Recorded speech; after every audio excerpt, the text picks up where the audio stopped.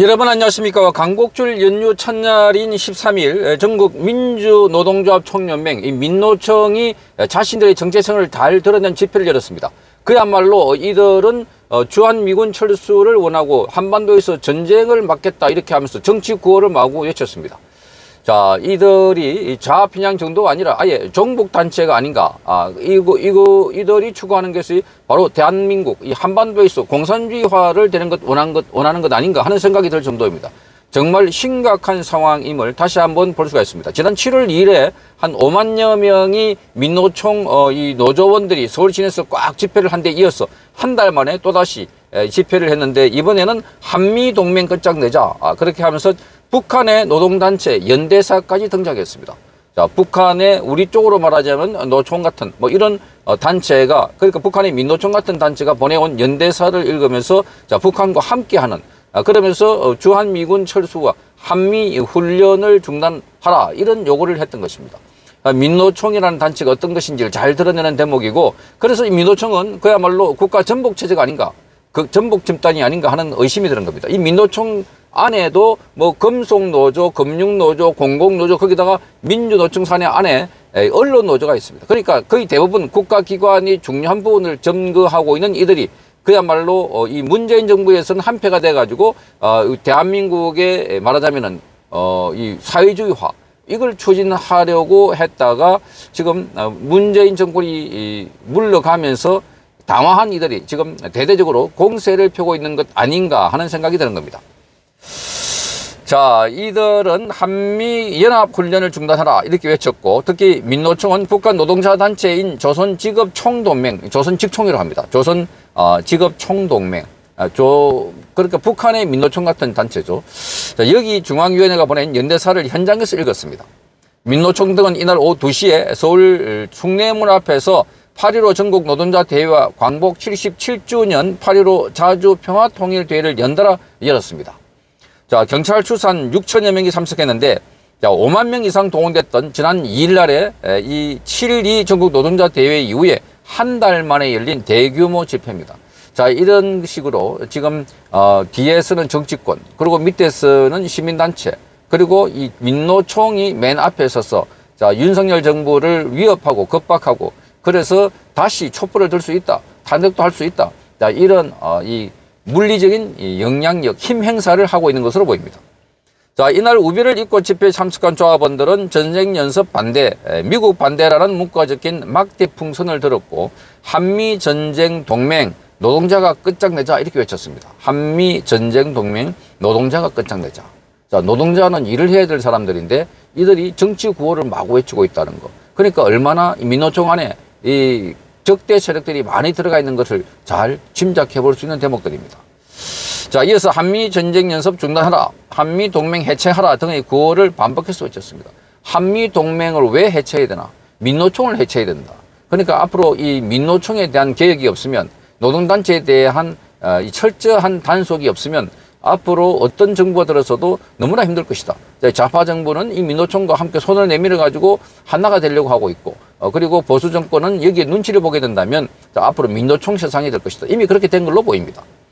자, 양경수 민주노총 위원장은 무대에 올라서 이렇게 말했습니다. 당장 다음 주 어, 대규모 한미 합동 군사 훈련이 예정돼 있다. 이 나라를 전쟁의 화염 속에 몰아넣으려는 윤석열 정부를 우리는 용, 절대 용납할 수 없다 이렇게 말했습니다. 노동자 단체가 이렇게 정부를 겁박하고 있는 어, 이런 단체는 반국가 단체로 보입니다. 자, 이어서 한반도의 운명을 쥐락펴락하는 미국에 맞서 싸워야 한다. 노동조합의 힘으로 불평등한 한미 동맹을 끝내자 이렇게 외쳤습니다. 자, 이런 단체가 노동자라는 이름을 참칭해가지고 지금 반국가 활동을 하고 있는 것으로 보여서 자, 이들에 대한 대대적인 단속, 어, 이들에 대한 대대적인 아, 단속이 필요해 보입니다. 자, 이날 집회에는 북측 노동자 단체인 조선직업총연맹, 즉 조선직총중앙위원회가 인대사를 보냈는데 자, 전국 교직원 노동조합의 오은정 통일위원장이 읽어내려간 연대사를 통해서 조선직총은 이렇게 말했습니다. 자, 미국과 남조선의 윤석열 보수 집권 세력은 이 시각에도 하늘과 땅, 바다에서 각종 명목의 침략 전쟁 연습을 광란적으로 벌이고 있다. 이렇게 주장하면서 노동자의 억센 기상과 투지로 미국과 그 추종 세력의 무분별한 정쟁 대결 광란을 저지 파탄시키자 이렇게 말했습니다. 자 이렇게 지금 어, 조선직업총연맹이 쓴 이걸 연대사를 우리나라 아, 대한민국의 이 단체가 뭐 이 경교저가 이른다는 것 자체도 코미디입니다. 바로 이 사람들이 자, 이 북한의 에, 이 지령에 따라서 움직이는 사람들 아닌가. 자, 이들의 간첩 혐의로 처벌, 처벌해야 되는 것 아닌가. 벌건 대낮에 북한의 이 지령 같은 이 문서를 읽고 있다는 것 정말 충격적입니다. 자, 민노총 집회 종료 직후에 오후 2시 30분부터는 8.15 대추진위원회가 8.15 자주평화통일대회를 열었습니다. 이 8.15 자주평화통일. 자, 이름이 아주 그럴듯합니다. 자, 이 추진위원회는 민노총과 6.15 공동선언 실청 남측위원회 그리고 정의기억연대. 정의기억연대는 어, 이 윤미향이가 있었던 그 단체입니다. 자, 100여 개 시민단체로 구성이 되어 있습니다.